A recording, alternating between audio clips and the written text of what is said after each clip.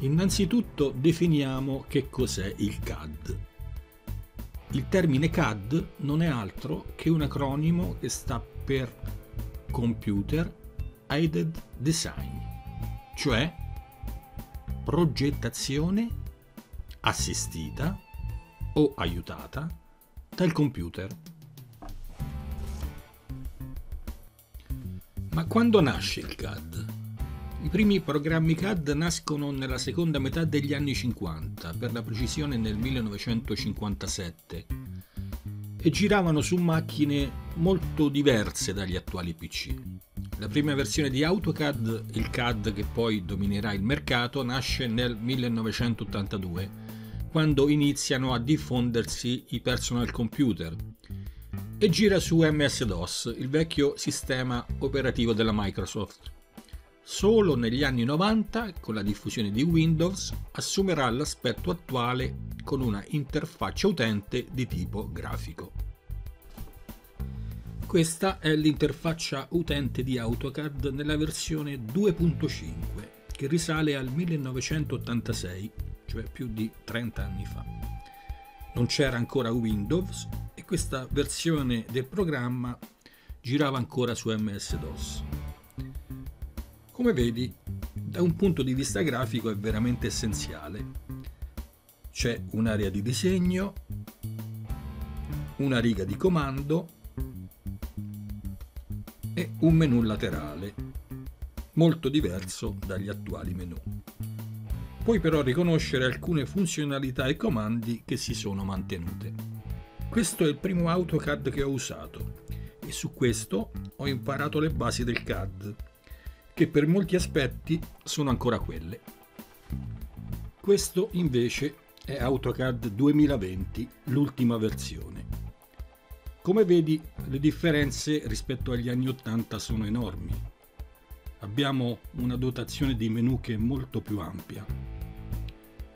Abbiamo un'interfaccia grafica per icone che consente di arrivare a tutta una serie di comandi che permettono di fare una marea di cose c'è anche la possibilità di switchare l'interfaccia a seconda delle necessità, scegliendo di stare in un ambiente più adatto al 2D, oppure al 3D, oppure alla modellazione. Si dice che AutoCAD sia arrivato oltre i 1500 comandi, senza considerare sottocomandi e variabili. È diventato un programma estremamente complesso e questa è la sua forza, ma in qualche modo è anche il suo problema. Perché imparare ad usare AutoCAD nel pieno delle sue possibilità è diventato un'impresa. La gran parte degli utenti infatti usano una quantità di comandi più limitata e per questo negli ultimi anni hanno successo alcuni CAD che sono molto più semplici, oltre che meno costosi ed in qualche caso anche gratuiti come NanoCAD. Questo è NanoCAD nella sua versione free e si presenta così. Riprende l'interfaccia classica di AutoCAD, cioè quella precedente all'interfaccia Ribbon, che si compone delle seguenti parti. C'è un'area di disegno,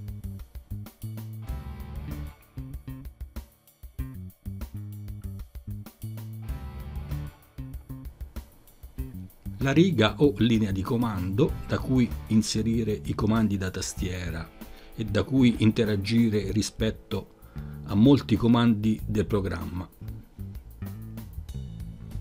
La barra di stato ancora più sotto che riporta alcune impostazioni generali che si possono impostare ed anche le coordinate relative al cursore che si muove sull'area di disegno. Un menu testuale in alto che attraverso i sottomenu attiva la gran parte dei comandi. Le barre degli strumenti che sono posizionabili a piacere e che contengono i comandi sotto forma di icone. Poi, per ultima, ma non meno importante, la tavolozza delle proprietà, che ci dà preziose informazioni sugli oggetti che disegniamo. L'interfaccia è personalizzabile in diversi modi. Il più immediato è quello che riguarda la gestione della barra degli strumenti, che puoi visualizzare e posizionare secondo le tue necessità.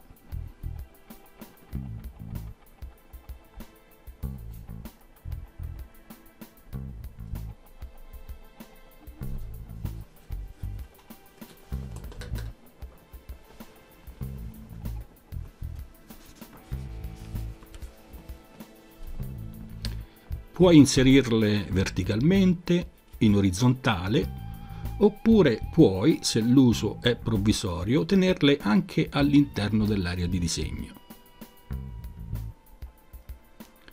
Poi dal menu eh, Strumenti personalizza interfaccia, andando nel riquadro puoi scegliere tra diversi stili grafici Te ne faccio vedere alcuni.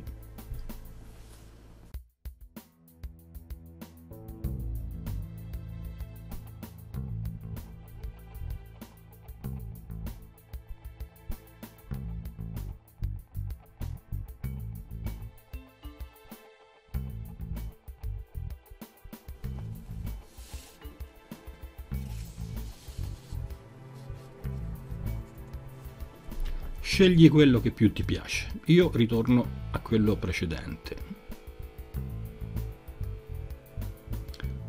Sullo stesso riquadro puoi impostare la dimensione delle icone adattandole alle caratteristiche del tuo schermo.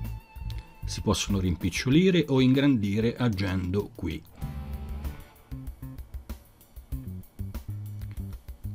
Poi puoi definire o ridefinire le scorciatoie da tastiera che è un altro modo di inserire i comandi. Ci sono quelle predefinite, che se vuoi puoi anche modificare, ma c'è soprattutto la possibilità di crearne di nuove. Selezionando il comando, scrivendo su questa riga e assegnandole.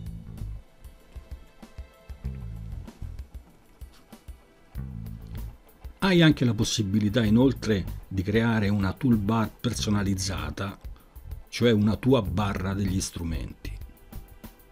Basta andare su barra strumenti, cliccare su nuovo, dare un nome alla toolbar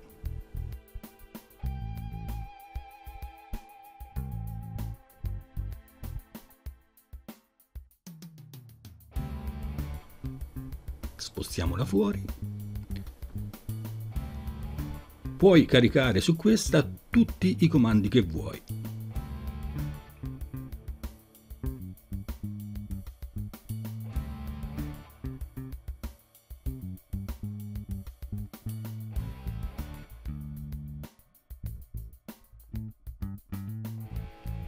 Una volta che l'hai composta, chiudi e te la trovi a disposizione e puoi posizionarla dove vuoi.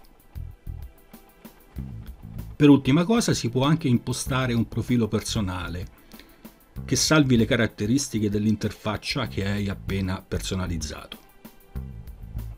Come vedi io ne ho uno, ma per definire il tuo profilo basta cliccare su aggiungi, dare un nome e renderlo corrente.